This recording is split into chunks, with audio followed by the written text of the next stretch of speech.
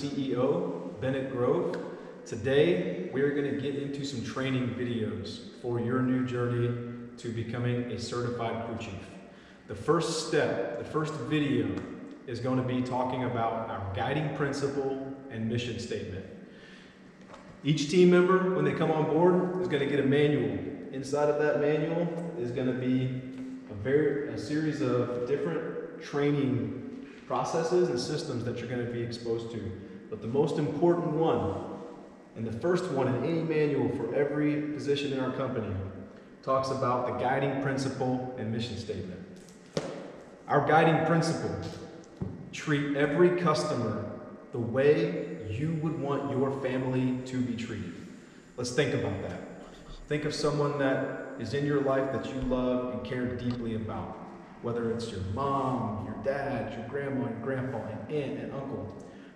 When you work for our company, you're going to encounter situations where it's going to force you to make a decision.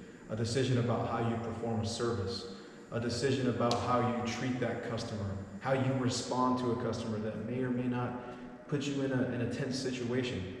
And in those moments, I want you to step back and I want you to think. Guiding principle. Treat every customer the way you would want your family to be treated. How would you want your loved one treated in that situation? It's a tough day. We've got a customer, we're running late, we're already late, and you're showing up, they're frustrated. How would your family member feel in that situation? And that's how you proceed to treat that customer. And if you do that, you are on your way to being an excellent team member and on your way to becoming an excellent leader. That's a good segue into the next piece that we're going to talk about, which is our mission statement. Our mission statement at Fire Dawgs Junk Removal is build leaders and pursue growth while providing award winning service. All three of those are important towers in our mission statement. When you think about building leaders as part of the training program, learning our guiding principle, you're on your way to becoming the leader. But if you build a leader that doesn't value pursuing growth, we're not going to provide award winning service. If we build a leader that doesn't provide award winning service, we're not pursuing growth. So, the first piece, build leaders, is just as important as the second piece, pursuing growth.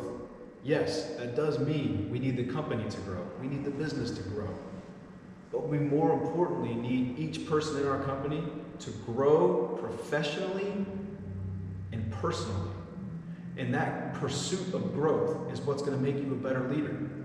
You have those two things, providing award winning service will come naturally. Award winning service. Every year that our company has been in business, we have won a service award. And that is going to be top of mind for everyone that works here. We're going to continue to pursue that excellence. We're never going to be perfect. We're going to make mistakes. As a leader, you're going to make a mistake. As you pursue growth, you're going to make a mistake. In your pursuit of award winning service, you're going to make mistakes. How we handle them is what the mission statement is about. So, that's a quick intro to our guiding principle and mission statement. This is going to wrap up training video number one for the beginning of your journey as a driver remover at Fire Dawgs Junk Removal. I'll see you on the next video.